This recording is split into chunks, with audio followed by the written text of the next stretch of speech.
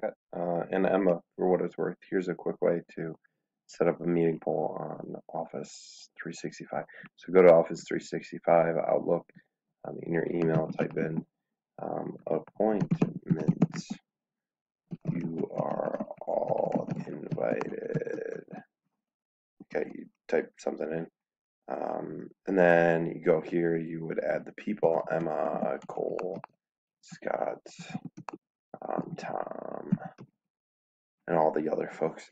When you do that, um, set up your first day to meet. Right now, obviously, Sunday's not going to work. So set up your first day here and then say poll for a time to meet.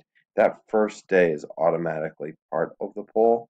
Um, so now to add another time, just add another time, specify the time, hit add, add another time, specify the time.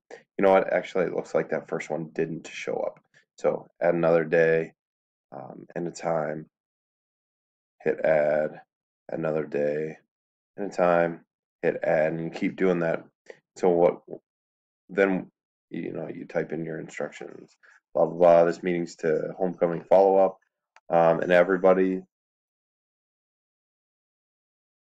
Once you send this out with various meeting times, what'll happen is in each person's calendar, it'll hold that spot um, in their calendar until the poll is resolved. Once the poll is resolved, it'll automatically schedule and send an email to everybody that's involved in the meeting request as to when that um, when that meeting actually got scheduled, and all those holds will be removed.